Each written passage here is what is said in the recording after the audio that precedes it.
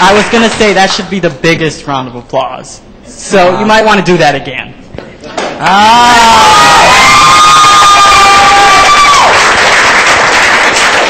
Next up on the show, we have psychic Lori Van Nostrand.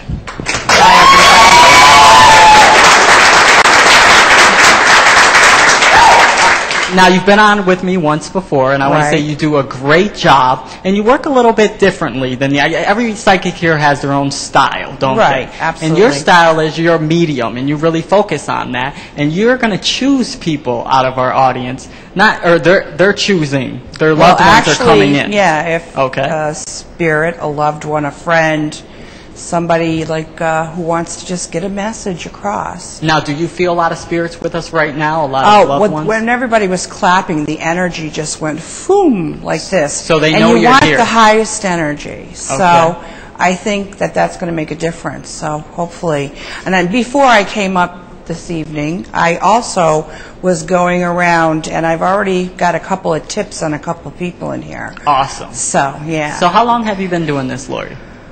Well, um, at least 20, 25 years. Maybe not to this degree. It's, you know, something that I've had to work on. It's not something that just came to me. You have to develop it. Um, I would say since I was a child, I had experiences, and those experiences at times were very scary because I didn't know what was going on. And so by the time I was 19, I got myself involved into different spiritualist church, reading books, because I had to know, because I was scared. Wow. What is this? Why am I seeing this? Why do I know this? So, So it how does was this a work? Do they development. just, the, the dead people just say things to you?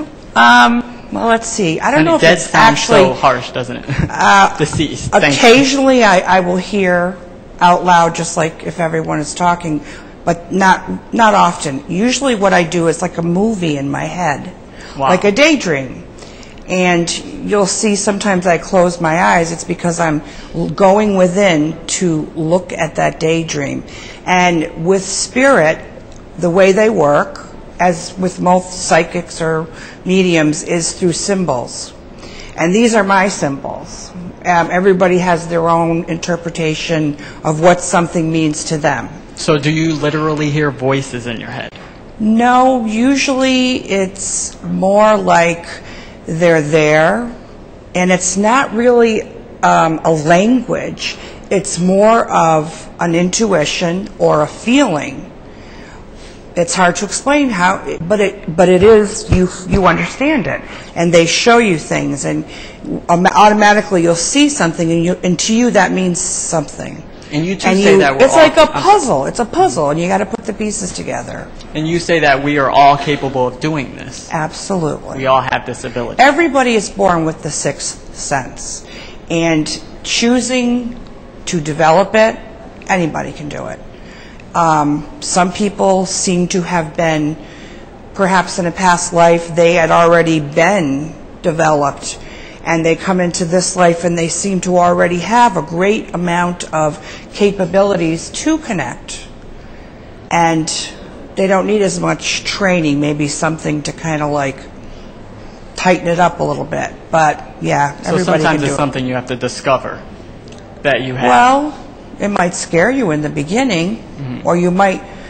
I think everybody here probably has had times when the phone rings and you know who it's going to be. Or you have a dream about somebody, and then next thing you know, you're walking in the mall and you pass them. Um, it doesn't have to be anything grandiose. It could be something as simple as just running into the person or whatever, just sensing something. And usually it's the first thing that comes to you that is spirit trying to get through to you. Because sometimes we question ourselves. You know, we'll get something and we'll say, no, no, no. You know, and that makes but- sense because a lot of times your first thought or decision is the Right. best one. Yep, So- that's true. Now let's let's see if we can get some messages across. Sure, Where do I'd you love feel to. the heat? Um, well, this gentleman here, hi. Gentleman here. Yeah. You want to stand up? I'm sorry. Hi. Can I have your your name? name, please? Al. Hi, Al. Okay. How are you? Good. Um, when I was over there before, I was just kind of looking around, and I came to you, and I sensed a gentleman on the other side for you. He felt like a brother. I don't know if you have a brother in spirit, but that's the feeling I had. No, I don't. You don't have a brother. Okay. I have a brother, but Not in spirit. Okay, then I would say the feeling of brother makes me say that he was a very good friend of yours. And he was a male.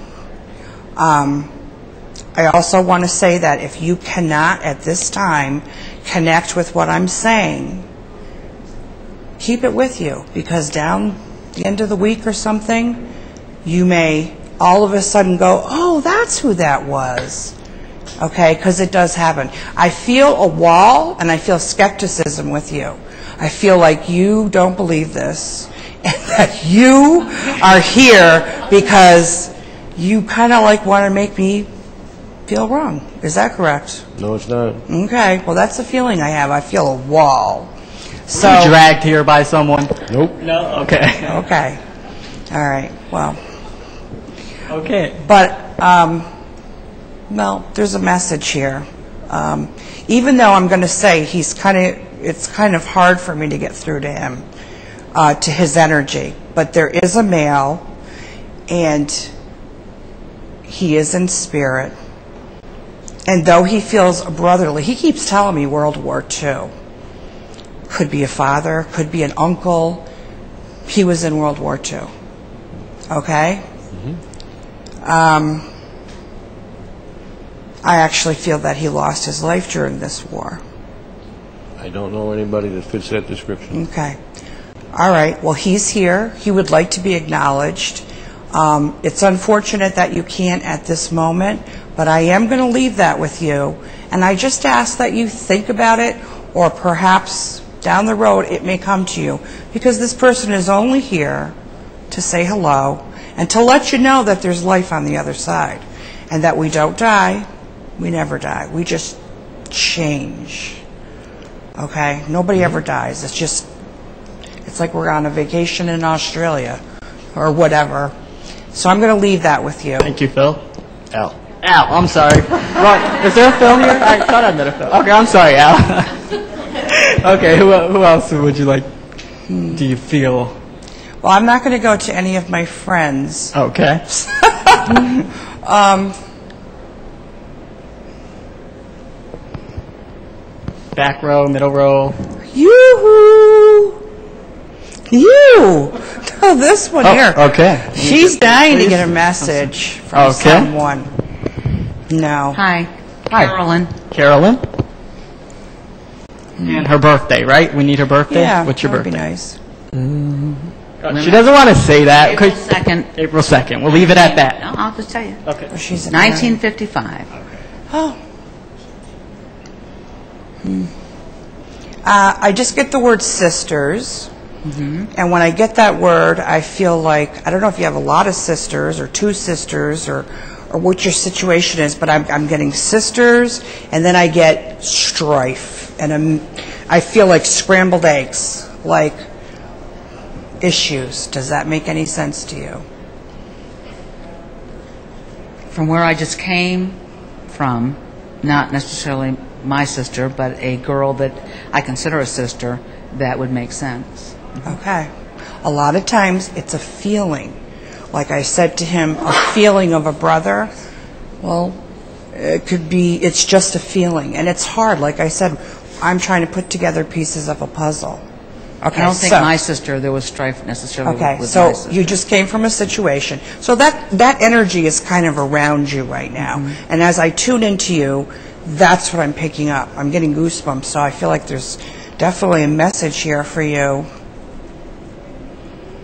Hmm. And I see that you're trying to uh, comfort someone and to be of some kind of assistance about this situation and to try to just soften things and trying to get people to just, you know, yeah, peacemaker. Hmm. And I also feel like one of the people that is involved in this situation really doesn't want to hear it from you, but the other person really does. Does that make sense? Okay. All right, I have a message. Um, They're saying that it's really good that you want to help. It's a wonderful thing to want to be supportive and help people. But there's also, this is from Spirit, there's also this thing that we have where we have to allow people to make their own mistakes. Because from every mistake that we make comes a lesson. And sometimes, as a parent, I know that you want to save your kids. You don't want them to make these mistakes. And it's so hard to let go. But in the long run, they have to suffer, just like we've had to suffer over so many situations growing up in our lives. Because with that suffering, with that pain, comes a lesson that we must learn in order to raise our vibrations. And I'm getting this message from Spirit that even though you're doing a good thing, you need to step back and let them figure it out because there's a lesson for the two of them together. And I'm going to leave that with you. That would make sense, since I am a control person. I want to fix every problem that's yeah, there. I can be like that If I that too. can't fix the problem, then I fret about it until I can find my way.